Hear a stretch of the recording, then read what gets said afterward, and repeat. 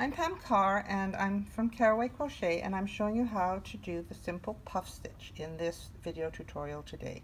I'm using an H hook and a four weight yarn so watch and enjoy and please subscribe to my channel if you're interested in learning lots of new crochet stitches and maybe check out my lots of stitches temperature blanket Cal video and see how you can join in that wonderful year-long project. Please subscribe to my channel if you're interested in learning lots of different crochet stitches and hit the bell button if you would like to be notified when I upload new videos. Thank you for watching. Hello, I'm Pam Carr and I'm going to show you how to make the puff stitch. Okay, it's um, quite a simple stitch once you know how to do it. So I wrap my yarn around my finger twice, pull the yarn over, pull the yarn over, and this is how I make my slip stitch. Slip knot, sorry, slip knot. Okay, and then I'm going to have an even number of stitches. So I'm going to chain 12. 1, 2, 3, 4, 5, 6, 7,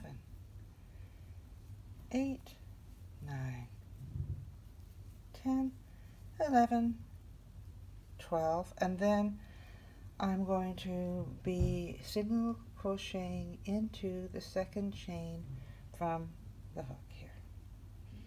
So I'm going to count one, two chains, and going to single crochet into this. Sometimes you um, can work onto a half double crochet base if you want, but this tutorial is just to show you how we can do our puff stitches. Sit down so I can do this more comfortably and I will single crochet all the way across this chain.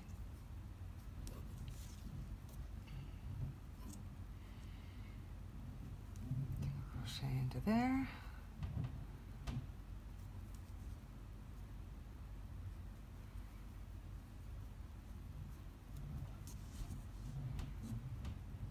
This is Simply Soft yarn. It's a 4 worsted weight and I'm doing it with an H hook, a number 5 millimeter. And I'm using US terms, so we're calling it a single. In England, they would be calling this a double.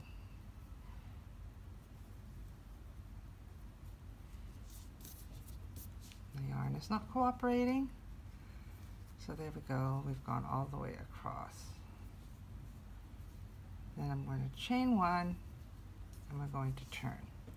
And then the first thing that's going to happen is we are going to do a single crochet into the first stitch. I'm moving my yarn here so it can not be fighting against me as I work. Okay, so the first one is a single crochet.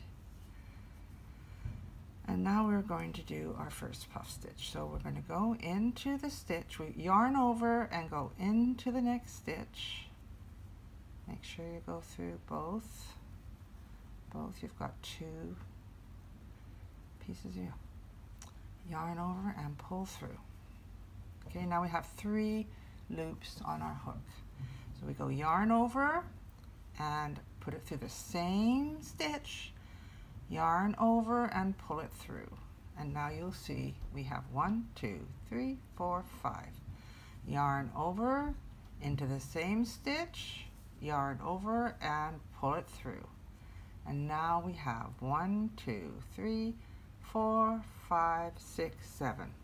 Yarn over into the same stitch yarn over and pull it through. And now we have nine loops on our hook so we are going to put the yarn over and I like to pull here so that I'm making a nice space in between the hook, get a bit of tension going, yarn over, and I twist my hook so that it the flat end is going through and the hook is going down, and I pull it through those nine. And sometimes you can chain it to tie it up, but we're not doing that for this pattern. We are going to go into the next stitch and do a single crochet. Okay? Now we're going to go into the next stitch. So yarn over, put the hook into the next stitch, yarn over and pull it through. And we're going to do it again. So it's four times in all. That was one. This is two. Oops. This is three. This is four. You should have nine loops on your hook. You pull through them all. We're not going to chain. We are going to go straight into the next stitch and single crochet. That kind of pulls our puff stitches over on the side a bit. Okay? Yarn over into the next stitch, yarn over and pull it through. Yarn over into the stitch again and pull it through. Yarn over into the stitch again and pull it through. Yarn over into the stitch again and pull it through.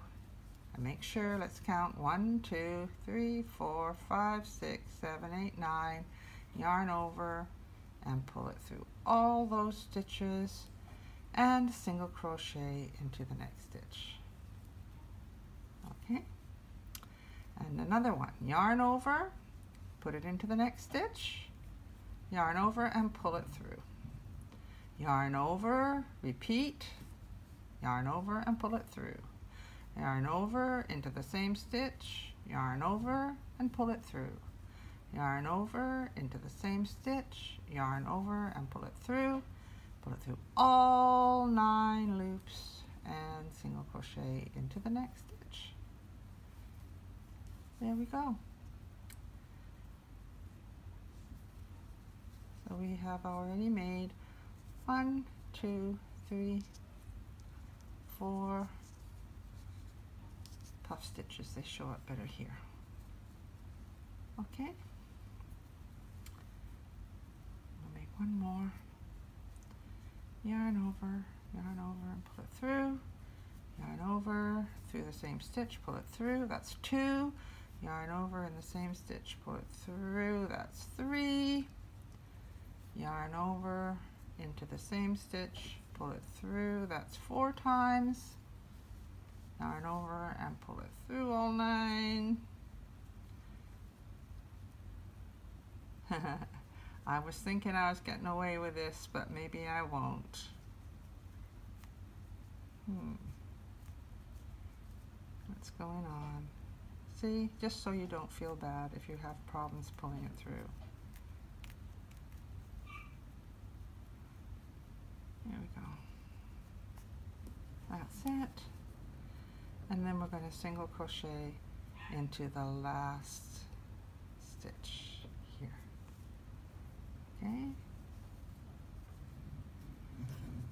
So we had to fight with that last one, but we did it. Okay. Now, we're going to chain one. And what you would normally do if you were working on a project is you would do a row of single crochet before doing more um, puff stitches. So let's do another row of single crochet. One,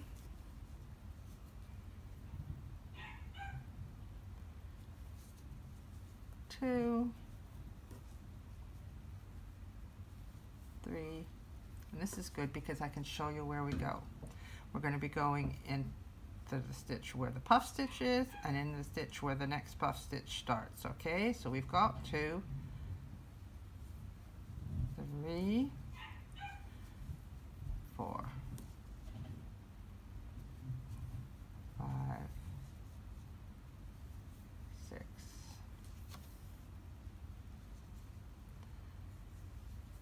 seven, eight. My dog is barking because she wants to be here. and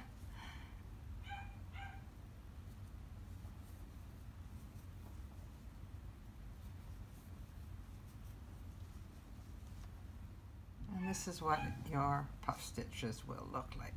Okay, so I hope you enjoyed this short tutorial on how to do the puff stitches. Thank you.